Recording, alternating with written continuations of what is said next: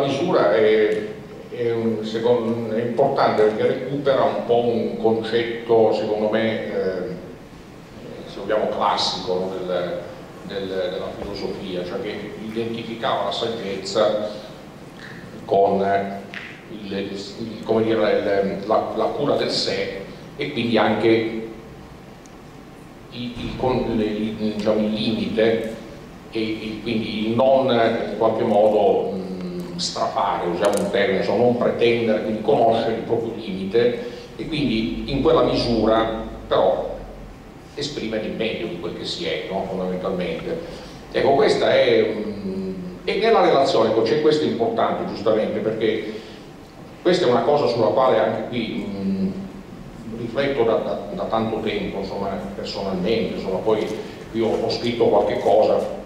Questo fa pugni con eh, come dire, la dimensione per esempio del, del consumo, cioè perché noi nella dimensione del consumo, che è il consumo di oggetti, noi fondamentalmente in linea di principio non, non troviamo limiti, cioè il consumo di oggetti può essere indefinito, io per esempio c'è l'esempio del, collezionismo, no? cioè io posso collezionare no? oggetti, cose o anche collezionare persone, in che senso? Cioè, avere no, eh, amicizie eh, come appunto eh, può accadere sul, sui social network per cui aumento il numero delle amicizie, io posso arrivare all'infinito oppure mh, come dire immaginiamo la dimensione del denaro, insomma, cioè, non, non c'è un limite, insomma, è qualcosa che eh, si può eh, incrementare all'infinito.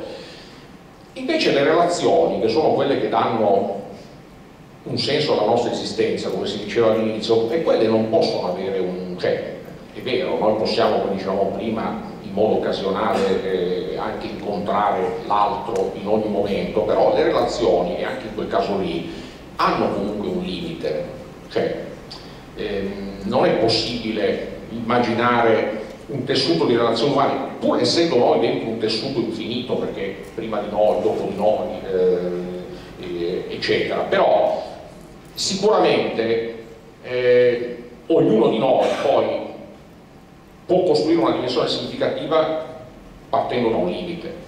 E quel limite è possibile trovarlo anche, quindi c'è questa differenza fondamentale, no?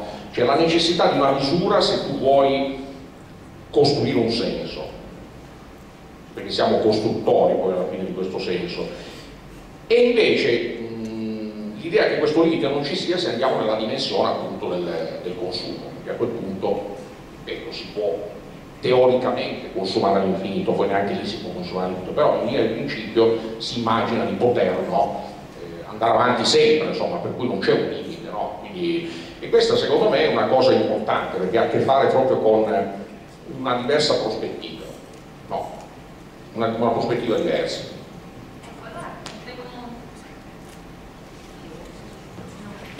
Potremmo fare